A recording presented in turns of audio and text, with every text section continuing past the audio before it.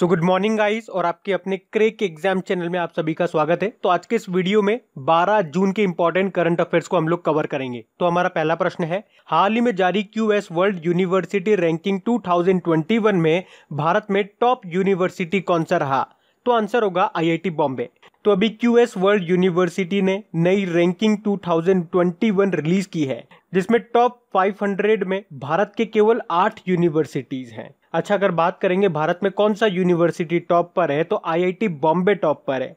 और world wide बात करेंगे तो आईआईटी बॉम्बे 172 नंबर पर है। और पूरे विश्व में टॉप यूनिवर्सिटी कौन सा है तो यूएसए का एमआईटी यानी कि मैसेच्यूसेट इंस्टीट्यूट ऑफ़ टेक्नोलॉजी अच्छा ये तो बात हो गया क्यूएस वर्ल्ड यूनिवर्सिटी रैंकिंग की। आपको याद होगा, कुछ समय पहले हमने पढ़ा था टाइम्स हायर एजुकेशन की एशिया यूनिवर्सिटी रैंकिंग आई थी, जिसमें भारत में टॉप यूनिवर्सिटी था आईआईएससी बेंगलुरु और वो वर्ल्ड लेवल पे 36 नंबर पे था और उसमें टॉप यूनिवर्सिटी था पूरी दुनिया में, चाइना का सिंहुआ यूनिवर्सिटी और उसकी लिस्ट में भी भारत की आठ यूनिवर्सिटी थी। तो ये भी आपको ध्यान रखना है, बढ़ते आगे।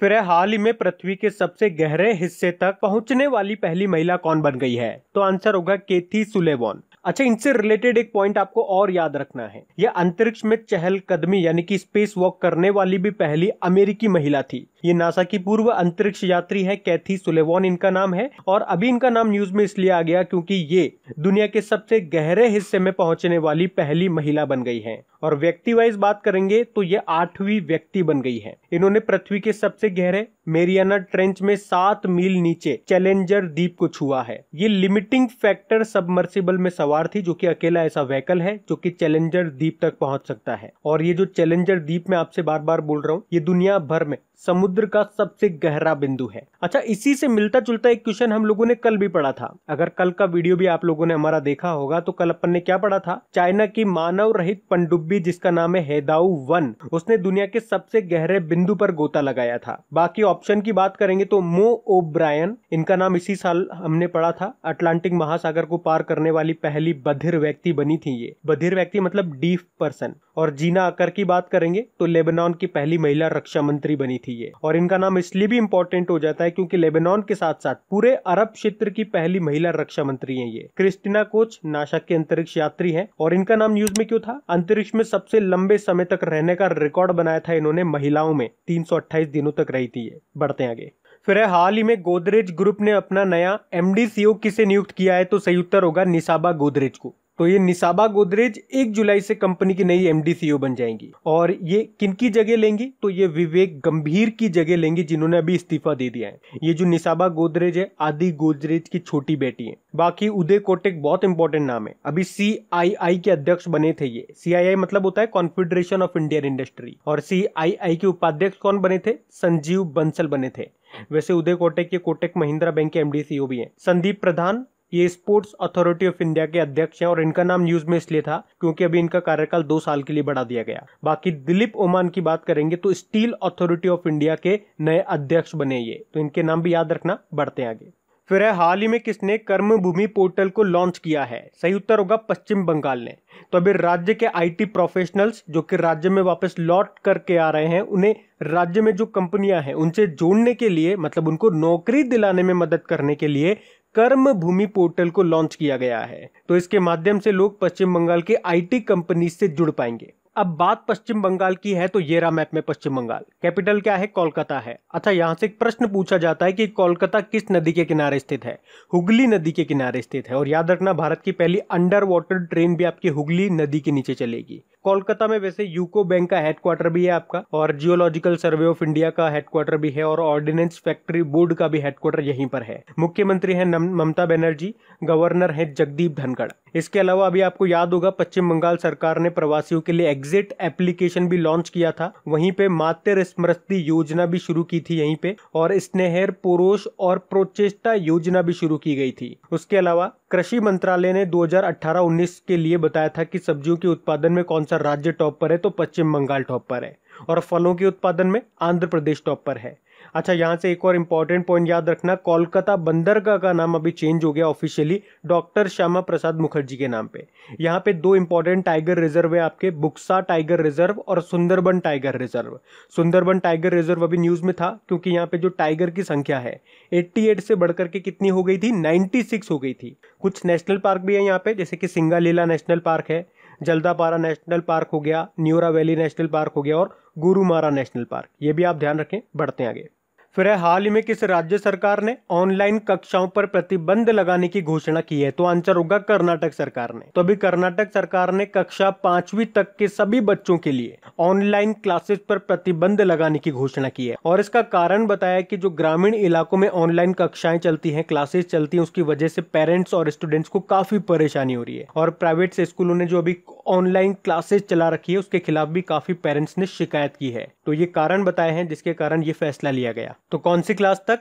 क्लास फिफ्थ तक, ये याद रखना। अब बात कर्नाटक की है तो येरा मैप में कर्नाटक, कैपिटल क्या है? इसकी बेंगलुरु है। कई बार मैं आपको बता चुका हूँ। देखो, यहाँ पे कई सारी ऑर्गेनाइजेशन के इंस्टीट्यूट्स के हेडक्वार्टर्स हैं। जैसे कि इन्फोसिस का हेडक्वार्टर है यहाँ पे विप्रो का हेडक्वार्टर आपका यहीं पर है हिंदुस्तान एरोनॉटिकल लिमिटेड का हेडक्वार्टर है आपका यहीं पे, इसरो का हेडक्वार्टर भी आपका बेंगलुरु में ही है। उसके अलावा सिलिकन वैली ऑफ़ इंडिया आपके बेंगलुरु को ही कहते हैं। और याद रखना, भारत का पहला सिटी बना था बेंगलुरु ऑफिशियल लोगो लॉन्च करने वाला। उसके अलावा आईटी कैपिटल ऑफ़ इंडिया भी इसको कहा जाता है और 2019 में डिजिटल लेन देन के मामले में सबसे आगे भी बेंगलुरु ही रहा था। मुख्यमंत्री है बी एस येदियुरप्पा गवर्नर है वाजुभाई वाला। इसके अलावा अभी कर्नाटक क्यों न्यूज़ में था, क्योंकि जन सेवक योजना इन्होंने शुरू की थी और एक आप्त मित्र एप्लीकेशन भी शुरू की थी। उसके अलावा नमस्ते ओवर हैंडशेक कार्यक्रम भी चलाया गया था और बेंगलुरु सिटी कॉरपोरेशन ने प्राणवायु नाम का श्वसन स्वास्थ्य जागरूकता कार्यक्रम भी शुरू किया था। उसके अलावा अभी मेघ संदेश एप्लीकेशन को भी लॉन्च किया था। यहाँ पे एक तुंग भद्रा डैम है, जो कि तुंग भद्रा नदी पर है। इसके अलावा कुछ नेशनल पार्क की बात करेंगे तो बांदीपुर नेशनल पार्क है, अंशी नेशनल पार्क है, बैनरगट्टा नेशनल पार्क है, एक नगर होल नेशनल पार्क हो गया और पिछले साल ही कर्नाटक के बुक्का पटना को दूसरा चिंकारा वन्य जीव अभ्यारण्य भी घोषित किया था। ये भी याद रखना, बढ़ते आगे। फिर हाल ही में के संजीता चानू को डोपिंग उल्लंघन आरोपों से मुक्त कर दिया गया। आपको बताना इनका संबंध किस खेल से है? तो आंसर होगा वेटलिफ्टर। वेटलिफ्टर है ये। और इनका नाम अभी न्यूज़ में क्यों रहा? क्योंकि इंटरनेशनल वेटलिफ्टिंग फेडरेशन ने भारत की जो ये के संजीता चानू है, इन जो डोपिंग आरोप लगे थे अभी उन्हें हटा दिया है। याद रखना, ये एक वेटलिफ्टर है और इंटरनेशनल वेटलिफ्टिंग फेडरेशन का हेडक्वार्टर कहाँ पर है? बुडापेस्ट हंगरी में है। अच्छा देखो, इसी प्रश्न में आपको दो तीन प्रश्न में आपको और बताने वाला हूँ। अब ध्यान से सुनना। रशिया के हाई जंप चैंपियन है अलेक्जेंडर सस्टोव अभी उनपे डोपिंग आरोपों के कारण court of arbitration for sport ने चार साल का बैन लगा दिया है। इसके अलावा, नाडा यानी कि नेशनल एंटी डोपिंग एजेंसी ने भारतीय बास्केटबॉल प्लेयर हैं अमृतपाल सिंह और महिला बॉक्सर हैं नीरज फोगाट। उन पे भी चार साल का प्रतिबंध लगा दिया है। और इनके अलावा, अभी एथलेटिक्स इंटीग्रिटी यूनिटी ने गोमती मारी मुथु पर चार साल का बैन लगा दिया वही डोपिंग आरोपों के कारण। तो इस एक प्रश्न में मैंने आपको चार प्रश्न बताए हैं तो इनको आप ध्यान रखना। और चार प्रश्न एक साथ बताने का लक्ष्य यही है कि आप अगर नोट्स बना रहे हो या पीडीएफ में लिख रहे हो तो एक साथ इनको लिख सके। देखो, मैं चाहता तो ये चार प्रश्न को अलग अलग करके भी प्रश्न बना देता तो हमारे प्रश्न की संख्या भी बढ़ जाती और बहुत से स्टूडेंट शायद खुश भी हो जाते कि नंबर ऑफ़ क्वेश्चन बढ़ गए हैं। लेकिन देखो, वो सब सिर्फ़ एक फॉर्मेलिटी होती है। करने में कुछ नहीं जा रहा था अलग अलग क्वेश्चन टाइप करके दे देता, ज़्यादा नंबर ऑफ़ क्वेश्चन बढ़ जाते, आप लोग भी खुश हो जाते। लेकिन ऐसा करने की जगह मुझे सही लगा कि एक ही क्वेश्चन में जो मिलते जुलते क्वेश्चन है, सारे आपको एक साथ बता दू। अगर आप नोट्स बनाते होंगे तो एक साथ लिखोगे तो फ़ायदा रहेगा। नंबर ऑफ़ क्वेश्चन ज़्यादा पढ़ने का मतलब नहीं है। जितना पढ़ रहे हो अच्छा पढ़ो। नहीं तो क्वेश्चन तो बहुत सारे बन सकते हैं, लेकिन सभी क्वेश्चन का मतलब नहीं है। तो एग्ज़ाम ओरिएंटेड क्वेश्चन आपको पढ़ना है। आपको क्वालिटी पे ध्यान देना है क्वांटिटी पे नहीं। जब ये चीज़ें आप छोटी छोटी चीज़ें समझने लग जाओगे ना तो अपने आप ज़िंदगी में आगे बढ़ते जाओगे। तो अभी हम भी बढ़ते हैं आगे। और गाइज़ अगर आप अपनी क्रेक एग्ज़ाम एप्लीकेशन में क्विज वगैरह सॉल्व करते हैं, और उससे अगर आपको हेल्प मिलती है तो एक छोटी सी हेल्प आप मेरी कर सकते हैं। वहाँ पे अगर कोई एडवर्टीजमेंट आपको दिखता है तो प्लीज़ उस पर एक बार आप क्लिक ज़रूर कर दिया करें। तो इसके रिज़ल्ट में, उस एप्लीकेशन को और बेहतरीन बनाने में मुझे थोड़ा सपोर्ट भी मिल जाएगा। तो चलिए अभी बढ़ते हैं आगे। और गाइज़ अगर वीडियोस आपको अच्छे लग रहे हैं, मेरी मेहनत अच्छी लग रही है, और ये वाकई अगर आपके लिए हेल्पफुल है तो प्लीज़ वीडियो को शेयर ज़रूर किया कीजिए। अगर इन वीडियो से आपकी हेल्प होती है तो आप लोग मेरी हेल्प ज़रूर करें इन वीडियोस को लाइक और शेयर करके, ताकि इन वीडियोस को कंटिन्यू रखने में मुझे भी आपका सपोर्ट मिल सके। तो प्लीज़ इसे लाइक और शेयर ज़रूर करना। और अगर आप में से कोई इस वीडियो को फ़र्स्ट टाइम देख रहा है तो इस चैनल को आप सब्सक्राइब कर लीजिए, और सब्सक्राइब करने के बाद में पास में जो बेल आइकन आएगा, उसे आप दबाना बिल्कुल मत भूलिएगा, क्योंकि आपको वीडियोस के नोटिफिकेशन तभी मिलेंगे जब आप बेल आइकन को प्रेस करोगे तो चलिए अब बढ़ते आगे। फिर है, भारत में एशियाई शेरों की आबादी में कितने प्रतिशत की रिकॉर्ड वृद्धि दर्ज की गई है तो आंसर होगा 29 परसेंट तो भारत में एशियाई शेरों की आबादी में 29 परसेंट की रिकॉर्ड आबादी दर्ज की गई है। और अगर नंबर में बात करेंगे तो देखो 2015 में 523 थे ये नंबर में, जो कि अब 2020 में बढ़कर के 674 हो गए हैं।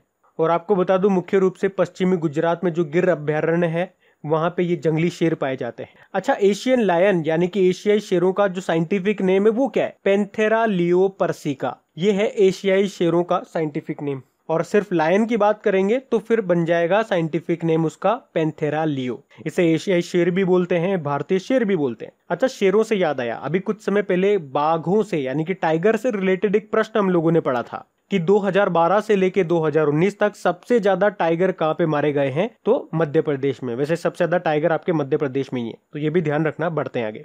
फिर है, हाल ही में उपन्यास अब बर्निंग किसने लिखा है? तो आंसर होगा मेघा मजूमदार ने। तो अभी मेघा मजूमदार ने अब बर्निंग नाम से अपना एक नया नॉवल लिखा है।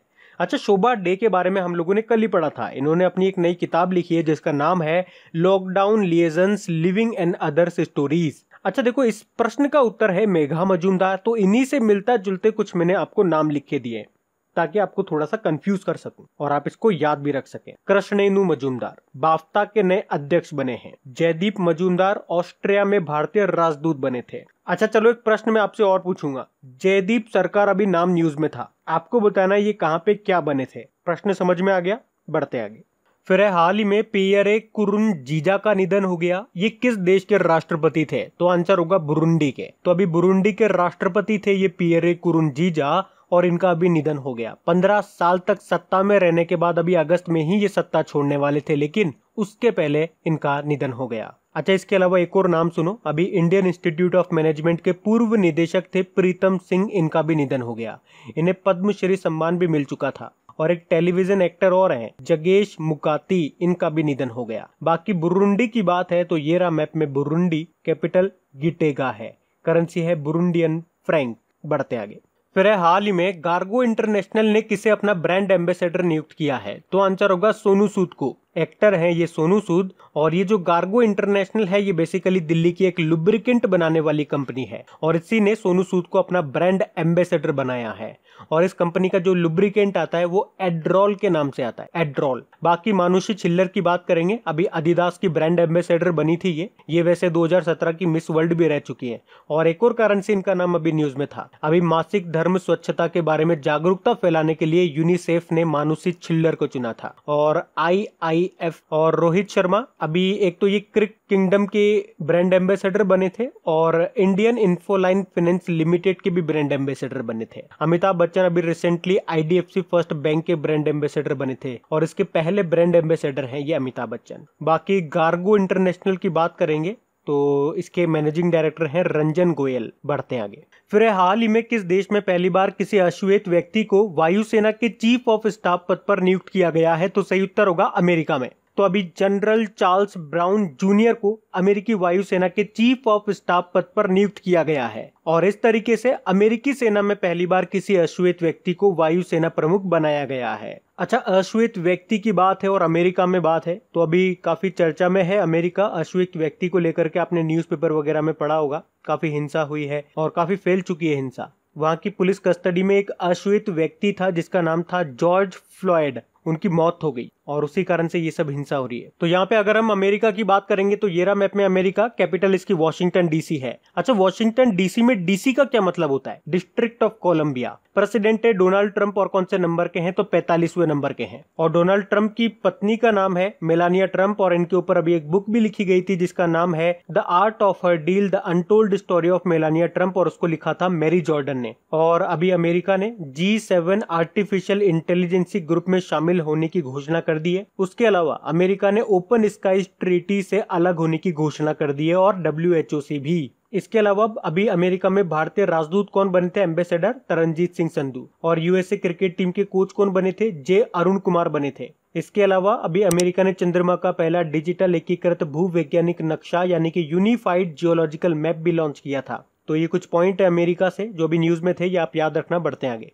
फिर हाल ही में फिच रेटिंग्स ने वित्त वर्ष 2021-22 में भारत की जीडीपी ग्रोथ रेट कितना रहने का अनुमान लगाया है तो आंसर होगा 9.5 परसेंट तो अभी फिच रेटिंग ने कहा है कि अब आगे अगर कुछ बुरा नहीं होता है तो अगले वित्त वर्ष यानी कि फाइनेंशियल ईयर 2021-22 में भारत की जीडीपी ग्रोथ रेट 9.5 परसेंट तक रह सकती है। वैसे अभी चालू वित्त वर्ष के लिए यानी कि करंट फ़िज़िकल ईयर 2020-21 में भारत की जीडीपी ग्रोथ रेट माइनस रहने का अनुमान लगाया था फिच रेटिंग्स ने। इसके अलावा एक और पॉइंट बता दू, अभी एस एंड पी यानी कि स्टैंडर्ड एंड पुअर्स ने भारत की sovereign rating B B B minus पर बरकरार रखा है उसको। अब ये सोवरन रेटिंग क्या होती है? इसको मैं आपको डिटेल में समझा चुका हूँ पहले भी। अभी कुछ समय पहले की बात है। और कल ही हम लोगों ने जून महीने के फ़र्स्ट वीक के इंपॉर्टेंट करंट अफेयर्स को कवर किया है। तो वहाँ पे भी ये क्वेश्चन मैंने कवर किया है और वहाँ पे भी आपको डिटेल में समझाया है।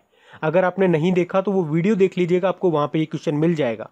और एस एंड पी से ही आपको याद आता होगा, कल भी हम लोगों ने पढ़ा था। स्टैंडर्ड एंड पुअर्स ने बताया था, वित्त वर्ष 2020-21 में भारत की जीडीपी ग्रोथ रेट 5 परसेंट तक गिरने का अनुमान है। और वर्ल्ड बैंक ने क्या कहा था कि वित्त वर्ष 2020-21 में भारत की growth rate minus three point two percent तक रह सकती है। तो ये हमने कल पॉइंट पढ़े थे। तो अब बात करेंगे कल के वीडियो में पूछे गए प्रश्न के उत्तर की।